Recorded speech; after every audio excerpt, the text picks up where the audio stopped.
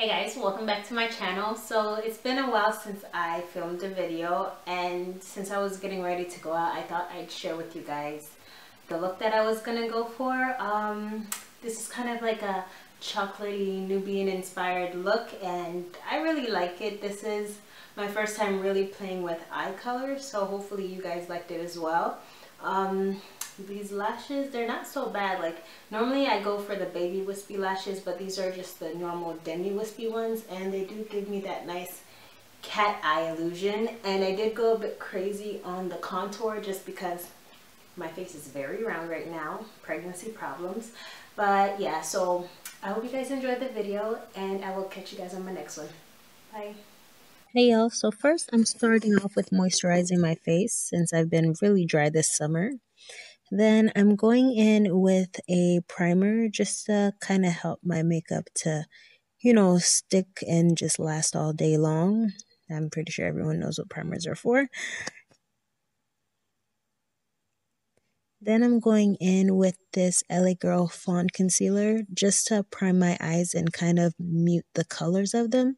I just also find it to be a great base, especially since when I do my eyebrows afterwards, I use the same concealer, so it just kind of blends seamlessly.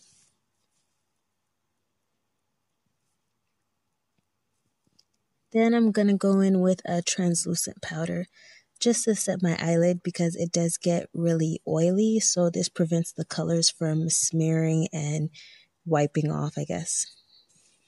Now I'm just going to go in with this uh, blush, but I just really liked it because of the burgundy reddish color. I just thought it would be a nice transition color, especially for the look that I was going for.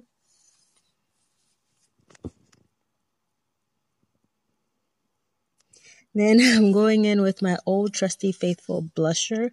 Uh, I don't remember. I think it's an LA Colors blusher or something, but I just like it because, again, it's a burgundy color.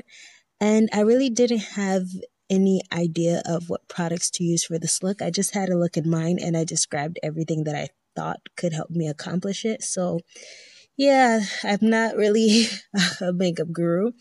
And then I went in with just a random burgundy color that I found in a really old palette that I had. I really need to upgrade and buy higher end palettes, but because I don't do eyeshadows that often, I just never found any reason to do it.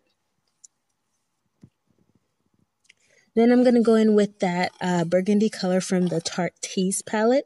I just use that because it's a darker color, so it just adds more depth to the outside of the eye.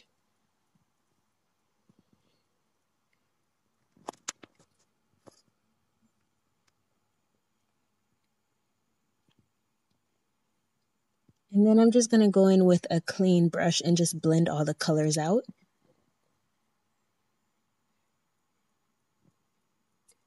And I went back in with that LA Colors concealer just so I could have a nice base to put down my darker lid color.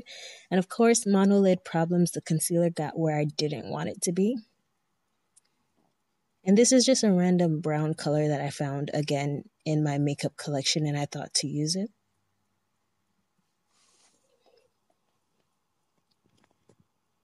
Then I went in with that brown color from the Tarte Tease palette just to kind of darken it up a bit.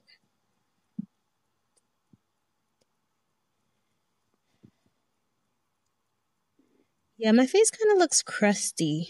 It, it I know it's the primer, but it, it still looks really crusty. Disregard that. Then I went in with a random black color just because I really wanted the color of the lid to be intensified. So I just thought that the black color would be really nice for that and kind of give it like a smoky effect.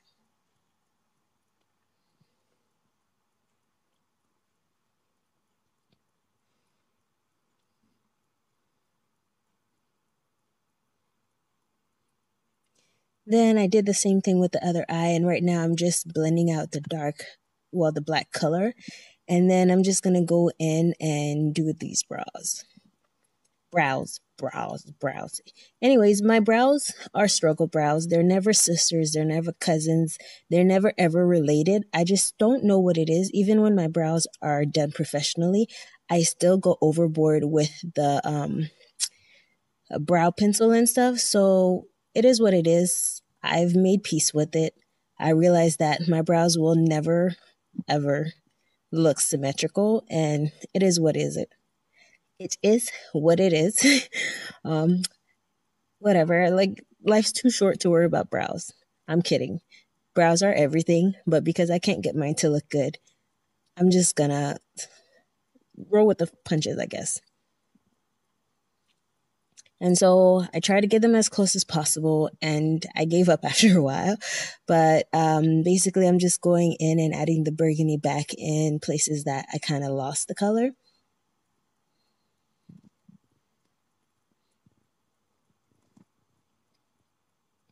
And now I'm just applying my uh, Black Opal foundation in hazelnut. And y'all, like the hyperpigmentation is real during this pregnancy. Like my neck and all of my chest has gotten so considerably dark, and I just don't know what to do with it besides applying makeup. Now I've went in and put uh, concealer and uh, what do you call this damn thing? Um, damn it, what the hell is this thing called? Um, highlight and contour. Sorry, I just went in and did the highlight and contour, both with LA Girl uh, cream concealers.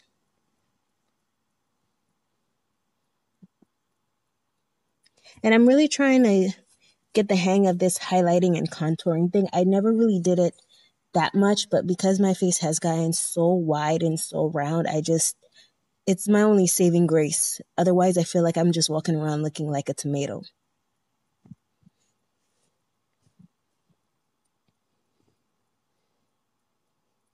And I tried to get my face as snatched as possible, but even with as much product as I used, it still was round.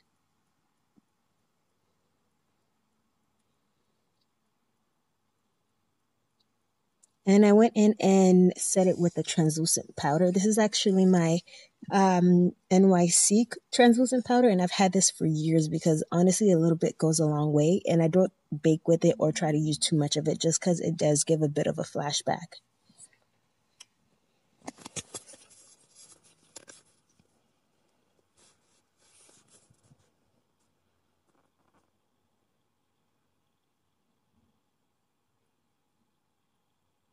Then I went in with that same brown color in the Tarte Tease palette just to darken up the contour and set the cream contour.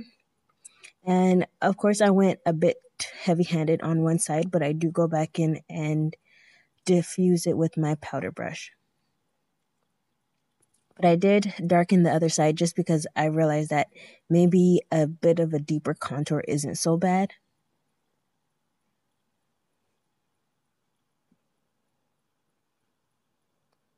Then I went in and set my face with a um, face powder. I'm choking on it, obviously.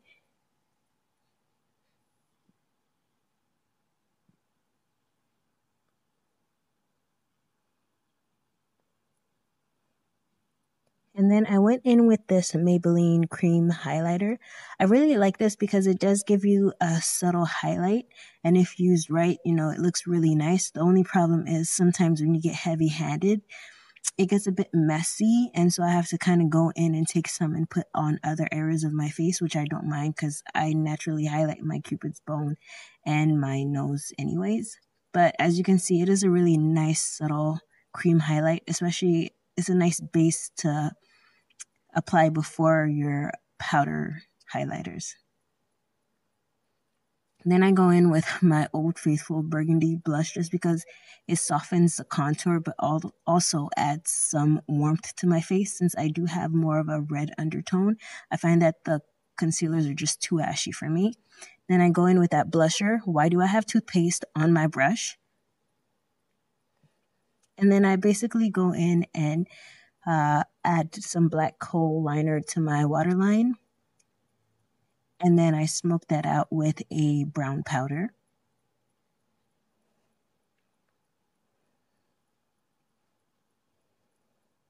Then I go in with a dry highlighter and just put it all over the places that I cream highlighted. And now while my edges are setting, I've already applied my lashes and I'm just using a generic brown pencil to line my lips. And then I go in with a more brick red brown liner for the inside of my lips.